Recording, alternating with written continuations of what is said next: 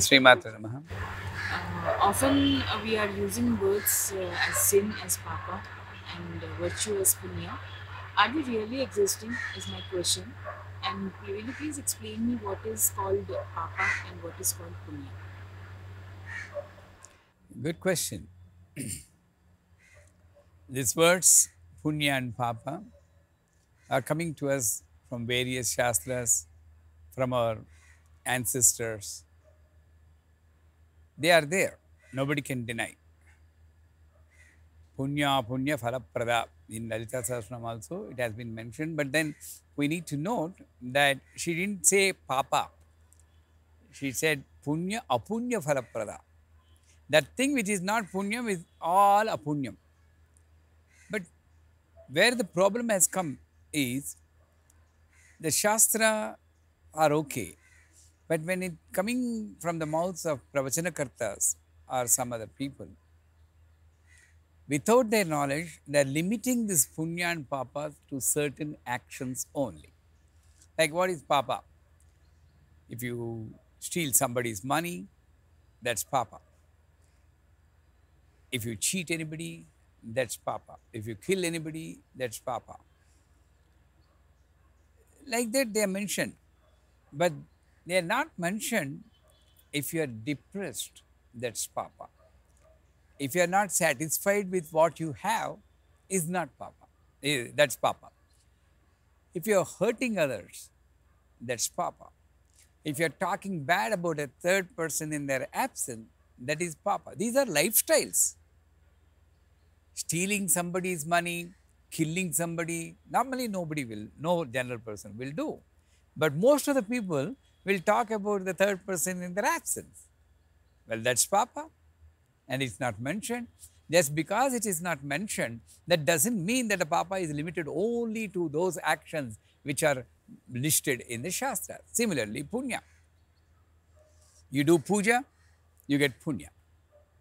You donate something to any organization or you feed an animal, punya. That's it. You wake up all through the night. In Shivaratri day, on Shivaratri day, he's having Om Namah Shivaya in his uh, very good bhakta, I think. So, um, then that's punya. Is that only punya? Respecting parents is punya. The father-in-law, mother-in-law not interfering in husband and wife's issues is punya. Keeping others happy is punya. Showing compassion not only on the human being, on the trees, on the animals, on the birds is punya. Everything is punya. So punya can be defined as those actions which keep you happy and which keep others happy. And any other thing is what is called papa. If you define in a generic way like that, then you are more concerned about the normal daily actions in our life and we just focus on not doing that so-called papa. Now here comes the another logic. The whole universe has been created as per the Shastra by Parabrahma, all pervading conscious, universal consciousness, and anybody accepts it. And that entity is beyond guna, beyond punya, beyond papa, beyond form, beyond name. Anything you can define that's beyond. You cannot define, undefinable. So these punya and papa, they don't come to it. No pain, no pleasure. Then comes the celestial deities, Indra, Varuna, Agni, Kubera, Vayu, Ishana, all these. They have some issues. Indra has lost his chair when Rakshasas attacked and then he has to go and hide in a place. Well, they are celestial deities. Why should they have pain? When you look into that, the passion of Indra on his chair is the cause for all this. So passion is papam. So they are not they are also not free from Agni Deva. When uh, Rishi Patnis are doing pradakshina around the fire, he has got a desire for uh, the Rishi Patnis. That's papam in stories. Whether it happened or not, the stories are intended to let us know what is good, what is bad. We should not go into detail, oh, Agni Deva can do papa, Devatas are also doing, no, that's not right. And then comes Manava, human being. And gratitude, compassion, universal, abundant, everlasting love. These are our qualities. Already we have fallen down from celestial deities to human being. But maintaining these human values is punyam and not maintaining these human values and coming down to Rakshasa state, demon state, where I get pleasure by hurting you. Most of the people, they are ready to console the people when they are in grief, but they cannot bear their progress. They are jealous. Jealousy is papam. So, jealousy is making your fall away, fall down from human status. So, anything that makes you fall, lose your human status is papam. Anything which maintains or elevates you to even the celestial status, like mm, Ramakrishna Paramahansa, Ramana Maharshi, all these uh, Guru, Sadguru, Shankaracharya, that is punyam, right? And when you come down, there is a Rakshasa stage and mostly papam. And even in Rakshasas, there are some specific cases where Bali Chakravarti, Ravanasura is a Siva Bhakta.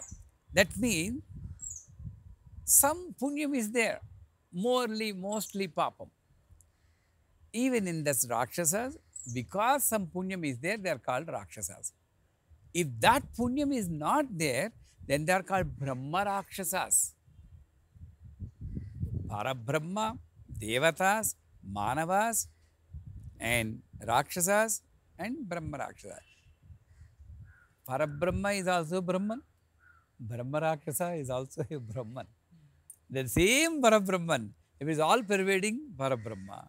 If it is self centered, they do tapas only for them to conquer the people, hurt the people, then they are called Brahma Rakshasa. Mahapapam. Even in this Punya Papam, Pancha Mahapatakas are described. That means the greatest sins which you cannot, you know, commit is listed. Even in Panchagavya Prasana, once in a year we have to do that, where we take a mixture of cow dung, cow urine, cow milk, cow curd, cow ghee, mix, and then with some mantras we take. At that time, they list out almost like 90 different so-called papas, just to remind us, okay, you're now taking this. This fire will burn away all these thoughts for doing these sins. From now onwards, it's your duty, responsibility not to do this kind of activities. Punya and Papa. So, all the actions which we do, which pull you down, will pull us down from our status, is called Papam, which maintains or elevates us from human level to divine level, is called Punyam. If you define in a generic way, then the human race will focus more on not cutting trees mercilessly, in olden days, when you cut the tree, before you cut the tree, you do namaskaram to the prithvi, bhumi. You pray to the tree, sorry, I'm cutting you. I'm killing you for my selfish purpose. Please forgive me. With mantras, they used to cut. That way, the six seasons have, were, were coming in right time.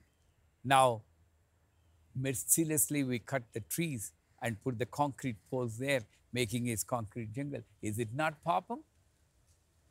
The real estate, which is booming now, taking away the land from the uh, farmers, who are again greedy enough to sell it as real estate, is it not papam? Dharitri is given to us to cultivate plants, not to build up buildings like this. We need. So the limiting of our desires is punyam greediness is papam. So keep on thinking like that.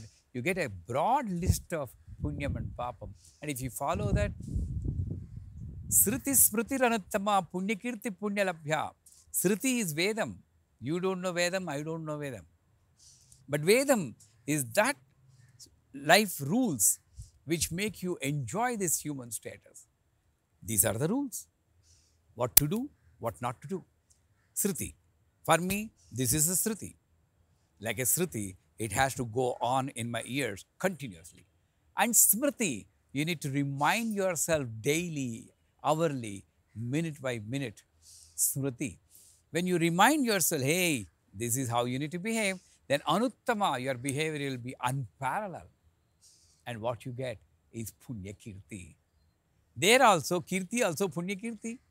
The fame which will not raise your ego, you'll get. Punya Kirti, Punya Punya Kirtana. So, I hope you understand now in one sentence what all the actions you do which make you feel happy, which make others, including the nature, animals, trees, insects, happy. Now you have seen in this area a lot of mosquitoes were there. And in the beginning, people were busy in killing them. Well, that's also a jiva. Is it not papam? We are not finding that hit is a papam. Drive away using some method. And we are enjoying now. They are also enjoying in the neighbor's house, of course. they have gone from here to neighbor house. That's also. But is it papam? No, they can go anywhere. They went to the neighborhood that their will. So, whatever is done to harm others is called papam. Srimad